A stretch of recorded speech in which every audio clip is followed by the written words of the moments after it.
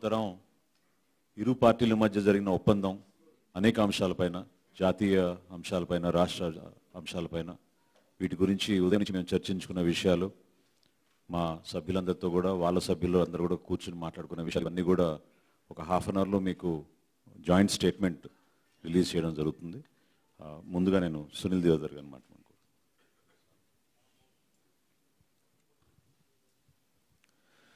Today is the historic day in the politics of Andhra Pradesh state. As Bharatiya Janata Party state president Kanna Lakshmi Narayan Garu and Janasena president Janasena chief Pavan Kalyan Garu both have, both of them have declared the alliance of Bharatiya Janata Party Janasena in the state. We are going to work together. We are going to fight together for the betterment of Andhra Pradesh, people of Andhra Pradesh. We will be working in the state to finish the political casteism, political dynasty Raj and corruption of the state. And as today it is the auspicious day of the three days of Sankranti. So from today onwards, why we celebrate Sankranti? Because Surya starts, sun starts its Uttarayan. And day increases, night decreases, the darkness decreases and light increases. The same thing is going to happen in this state. यहाँ पर अंधेरा छटेगा और सूर्य खिलेगा, कमल खिलेगा। जनसेना के साथ मिलकर we are going to form complete majority government in 2024 election I don't have any question if and but in my mind we are confirmed that the way this present government is working, in very short period of time, Jagan Mohan Reddy Garu's government has failed to fulfill the aspirations of the people of this state. Chandra Chandrababu Naidu Garu has already failed. And again, one more thing I want to make it clear. Time and again I have said, and again I am telling, no question of any type of alliance with Telugu Desam party in this state. No question. Similarly, no question about any type of alliance with YSRCP.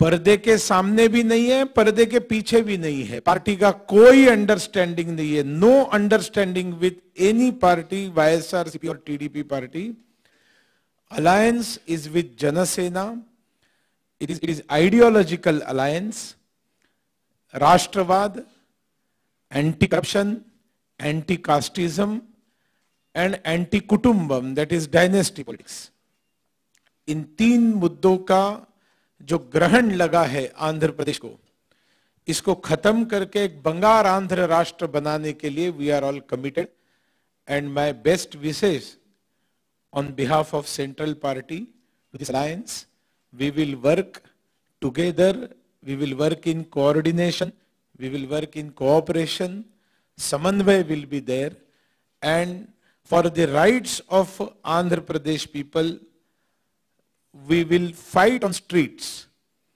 We will not allow any type of uh, injustice, corruption or any type of even state-sponsored religious conversion to happen in the state. It is very clear in our minds. Thank you very much.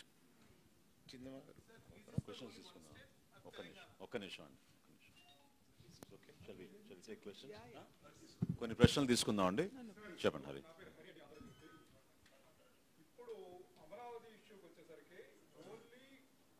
Five days కూడా four days మాత్రమే time అంటే twenty four hours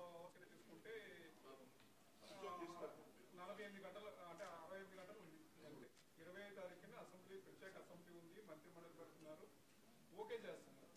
అంటే రాజధాని కడి నుంచి ఏమైనా ఆపే ప్రయత్నాలు ఏమైనా మీరు చేస్తారా? అంటే ఇక్కడ ఉన్న వాళ్ళలో చాలా మంది కన్నా లక్ష్మీనారాయణ అంటే ఈ రాష్ట్రంలో మీ ఉద్దేశంలో అధికారంలోకి వచ్చినంత మాత్రాన వైఎస్ఆర్సిపి తన ఇష్టం వచ్చినట్టు చేసుకుంటూ పోతూనే చెల్లుతుంది అనేటువంటి మీరు అనుకుంటే అనుకుంటే నేనైతే చేయగలిగింది అనేది.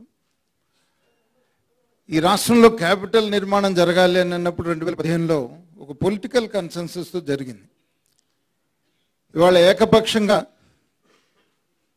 తన నిర్ణయం తీసుకొని అమలు చేస్తానని చెప్పేసి అనుకుంటే అది జగన్మోహన్ రెడ్డి భ్రమే అవుతుంది తప్ప అది ఇంకోటి కాదు. పొలిటికల్ కన్సెన్సస్తో పాటు ఈ రాష్ట్రంలో స్టేక్ హోల్డర్స్ అనేక మంది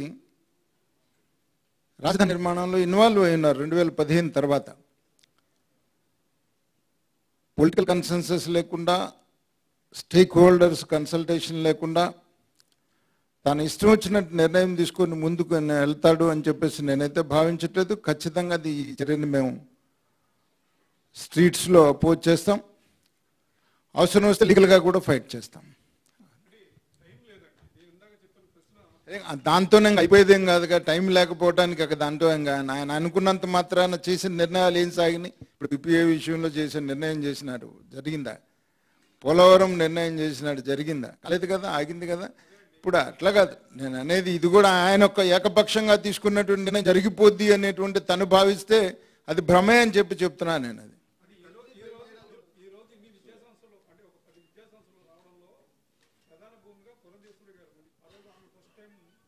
కాస్ట్ విభజన ముందే అడిగారు ఆమె. కేంద్రంలో అడిగి తిట్టించుకున్నారు రాజకీయంగా మీరు కూడా మంత్రిగా పనిచేశారు.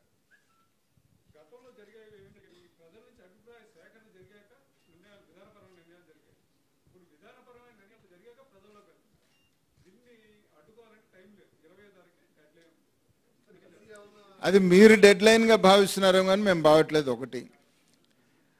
నియంతృత్వ ధోరణితో జరుగుతుంది అనేటువంటి మాట అనేక మార్లు చెప్పున్నాం. ఇప్పుడు తన నియంతృత్వం అహంకార ధోరణి నియంతృత్వ ధోరణి తను అనుకున్నది ఈ రాష్ట్రంలో జరగాలి అనేటువంటి ఒక భావన. ఈ ప్రజాస్వామ్యంలో చల్లవండి. ఇప్పుడు అనేక ఇన్స్టిట్యూషన్స్ ఉన్నాయి అనేక వ్యవస్థలు ఉన్నాయి అనేక స్టెప్స్ ఉన్నాయి. ఎందుకన్నా తనొక్కడే భావించి తనకేదో మెజారిటీ ఉంది కదా అసెంబ్లీలో మెజారిటీ ఉంది కదా నేను అనుకున్నది చేస్తాను అనేటువంటి ఒక భావన అది తప్పు అని చెబుతున్నాం అది జరగదని కూడా చెప్తా ఉన్నాం.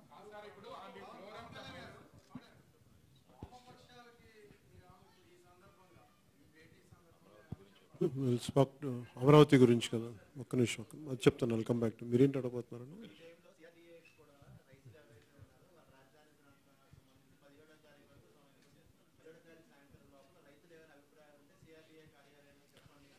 ఇప్పుడు ఉన్న ప్రభుత్వం ఉన్న వైసీపీ ప్రభుత్వం ఏది నిర్ణయించుకున్నా కానీ వాళ్ళు అనుకోవటమే తప్ప వాళ్ళు వాస్తవానికి తీసుకెళ్ళలేరు కుదరదు కూడా.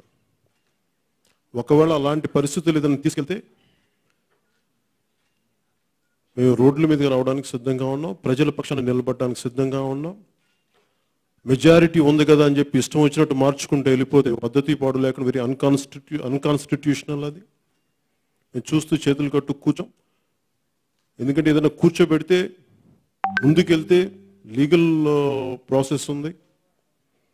అందుకని నిలబడితే వాళ్ళు చేయడం కుదరదు. వాళ్ళు లేదు అనేసుకుని మెజారిటీ అనేసుకుని ఏకపక్ష నిర్ణయాలు తీసుకుంటే మిగతా వాళ్ళు ఎవరు లేరు అనుకోవటం పొరపాటాలు. చాలా బలమైన నాయకత్వం ఉంది ఇక్కడ. తెగించే నాయకత్వం ఉంది ఇక్కడ.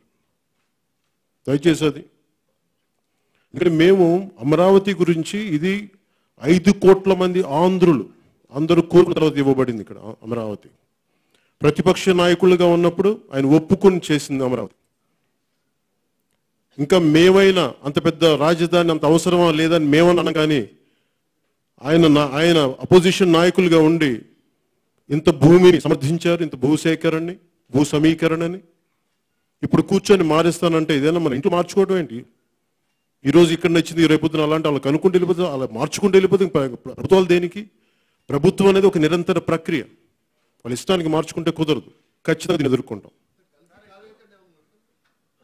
కలిసి మేము సమన్వయ కమిటీలు ఏర్పరుచుకుంటున్నాం. పబ్లిక్ ఇష్యూస్ అన్నిటి మీద సమన్వయ కమిటీలు పెట్టుకొని అవి వచ్చే ఇష్యూస్ని బట్టి ఇద్దరం చాలా బలంగా పోరాడతాం.